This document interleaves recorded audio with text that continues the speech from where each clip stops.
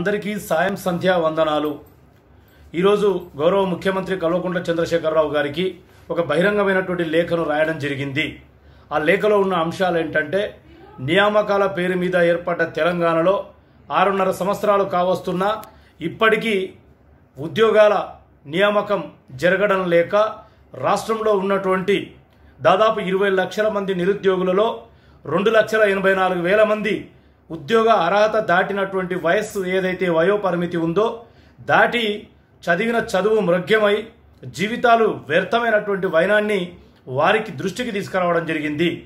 అదేవిధంగా TET teacher eligible test అనేది విద్యా హక్కు చట్టం ప్రకారం అమల్లోకి వచ్చి సంవత్సరానికి రెండు సార్లు టీచర్ ఎలిజిబుల్ టెస్ట్ పెట్టాల్సి ఉండగా తెలంగాణ రాష్ట్రం ఏర్పడ్డ తర్వాత కేవలం రెండుసార్లు మాత్రమే పెట్టబడ్డది. పదమూడు సార్లు పెట్టాల్సినటువంటి టెట్ను రెండు సార్లు మాత్రమే పెట్టి చేతులు దులుపుకున్నటువంటి గౌరవ ముఖ్యమంత్రి గారు వెంటనే టెట్టు పరీక్ష నిర్వహించి అర్హత కలిగినటువంటి వారందరికీ కూడా రాష్ట్రంలో ఖాళీగా ఉన్న ముప్పై రెండు నుంచి నలభై రెండు వేల పోస్టుల అంటే ఉపాధ్యాయ పోస్టులను భర్తీ చేయాల్సిందిగా నేను ఈ లేఖలో పేర్కొనడం జరిగింది.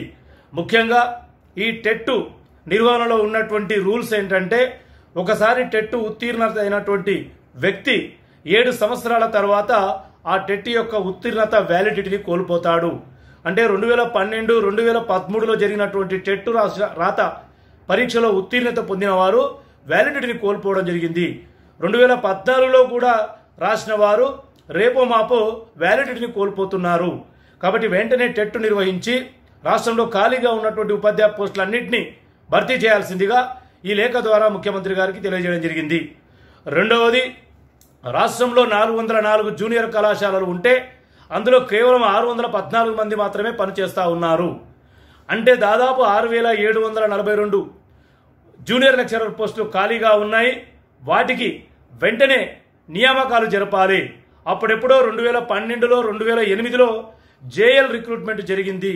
అంటే సుమారు ఎనిమిది తొమ్మిది సంవత్సరాలుగా అనేక వేల మంది రిటైర్డ్ అవుతున్న జేఎల్ నియామకాలు జరగడం లేదు. వెంటనే జేఎల్ నియామకాలు చేపట్టవలసిందిగా ముఖ్యమంత్రి గారిని ఈ లేఖ ద్వారా కోరడం జరిగింది.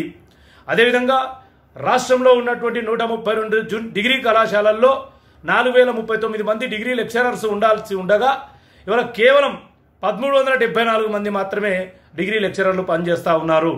అంటే దాదాపు రెండు వేల ఏడు వందల పైచులకు డిగ్రీ లెక్చరర్లను వెంటనే నియామకం చేపట్టాల్సిందిగా కూడా కోరడం జరిగింది. అదేవిధంగా ఇవాళ నిన్న చూస్తున్నాం యూనివర్సిటీ వైస్ ఛాన్సలర్ నియమిస్తున్నామని చెప్పేసి. వైస్ ఛాన్సలర్స్తో పాటు ఆయా యూనివర్సిటీలలో ప్రధానమైనటువంటి సబ్జెక్టులు బోధించే ఆచార్యులను కూడా నియమించాల్సిందిగా ఆ లేఖలో కోరుతూ ముఖ్యంగా రాష్ట్ర స్థాయి క్యాడర్ పోస్టులు అయినటువంటి అంటే గ్రూప్ వన్ కానీ గ్రూప్ టూ పోస్టులు కానీ తెలంగాణ రాష్ట్రంలో భర్తీ కావడం లేదు. రాష్ట్ర స్థాయి క్యాడర్ పోస్టులు అయినటువంటి DSP RDO MPDO MRO ACTO CTO excise commissioner endowment commissioner లాంటి ఇరవై మూడు రకాల రాష్ట్ర స్థాయి క్యాడర్ పోస్టులను కూడా వెంటనే భర్తీ చేయాల్సిందిగా ముఖ్యమంత్రి గారిని కోరుతా ఉన్నాను. రెండు వేల పద్దెనిమిది ఎన్నికలప్పుడు హుటా హుటిన దాదాపు ఒక పదిహేడు వందల పోస్టులను గ్రూప్ ఫోర్త్ పోస్టులను భర్తీ చేయడానికై రాత పరీక్ష నిర్వహించి ఇంటర్వ్యూలు కూడా చేయడం జరిగింది. వారికి ఇప్పటిదాకా నియామక పత్రాలు ఇవ్వడం లేదు. అదేవిధంగా కస్తూరిబా అంటే రాజీవ్ సారీ సరశిక్ష అభియాన్ కింద పనిచేయడానికి కూడా డిసెంబర్లో నియామకాల కోసం రాత పరీక్ష నిర్వహించి ఇప్పటి వరకు కూడా నియామకాలు ఇవ్వడం లేదు. వారికి కూడా నియామకాలు ఇవ్వాల్సిందిగా కోరుతూ ఈరోజు జూనియర్ పంచాయత్ సెక్రటరీలు ఎవరైతే ఉన్నారో రాష్ట్రంలో అప్రెంటిస్ విధానమే లేదు ఉద్యోగ వర్గాల్లో కానీ జూనియర్ పంచాయత్ సెక్రటరీలకు మూడు సంవత్సరాల అప్రెంటిస్ విధానం అనేది చాలా అహేతుకమైనటువంటి చర్య అప్రజాస్వామికమైనటువంటి చర్య. వారిని రాత పరీక్ష ద్వారా మౌఖిక పరీక్ష ద్వారా ఎంపికైన వారు కాబట్టి ఇతర ప్రభుత్వ ఉద్యోగుల వలె డిఏను హెచ్ఆర్ఏను ఇచ్చి సర్వీస్ రూల్స్ రూపకల్పన చేసి ప్రొవిషన్ పీరియడ్ లేకుండా అందరినీ రెగ్యులర్ జూనియర్ పంచాయత్ సెక్రటరీగా గుర్తించాల్సిందిగా కూడా కోరడం జరిగింది. ఇక అతి ముఖ్యంగా పది జిల్లాల నుంచి ముప్పై మూడు జిల్లాలు అవతరించినాయి. నాలుగు వందల అరవై నాలుగు మండలాల నుంచి ఐదు వందల ఎనభై ఐదు మండలాలు అవతరించినాయి. మరి ఆ జిల్లాలలో కొత్తగా ఏర్పడ్డటువంటి కలెక్టరేట్లు అయితేనేమి జిల్లా పరిషత్లు అయితేనేమి సబ్ ట్రెజరీ ఆఫీసులు అయితేనేమి ఆర్డీఓ ఆఫీసులు అయితేనేమి డిఎంఎండ్హెచ్ఓలు అయితేనేమి మెడికల్కి సంబంధించినటువంటి వీటన్నిటిలో కూడా కొత్తగా పోస్టులు అవసరము. అదేవిధంగా కొత్త మండలాల్లో కూడా ఒకవైపు ఎంపీడీఓ మరొకవైపు ఎంఆర్ఓ మరోవైపు డాక్టర్లు మరోవైపు అగ్రికల్చర్ ఏఈఓలు రకరకాల పోస్టులు కొత్తగా సృష్టించబడతాయి. ఇవన్నీ కూడా భర్తీ చేయాల్సిందిగా ముఖ్యమంత్రి గారిని కోరడం జరిగింది.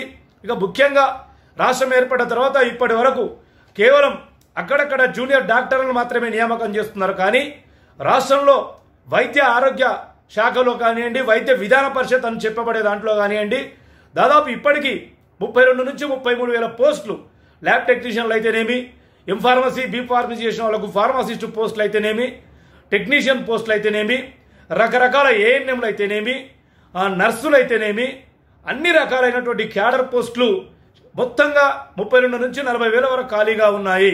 జూనియర్ డాక్టర్ పోస్టులు కూడా చాలా ఖాళీగా ఉన్నాయి. అనేక ప్రైమరీ హెల్త్ సెంటర్లో చాలా ఖాళీలు ఉన్నాయి. One not eight one not four నడపడానికి డ్రైవర్లు కూడా లేని పరిస్థితి ఉంది. వెంటనే వైద్య ఆరోగ్య శాఖలో కూడా అన్ని నియామకాలు చేపట్టవలసిందిగా ఈ లేఖ ద్వారా ఇవాళ ముఖ్యమంత్రి గారిని కోరుతూ ఆ లేఖను ముఖ్యమంత్రి కార్యాలయానికి ఈమెయిల్ ద్వారా అదేవిధంగా ఫ్యాక్స్ ద్వారా పంపి పత్రికలకు కూడా రిలీజ్ చేయడం జరిగింది. నేను మీ జి హర్షవర్ధన్ రెడ్డి తెలంగాణ పిఆర్టీ వ్యవస్థాపక అధ్యక్షుడిని తెలంగాణ ప్రదేశ్ కాంగ్రెస్ కమిటీ అధికార ప్రతినిధిని.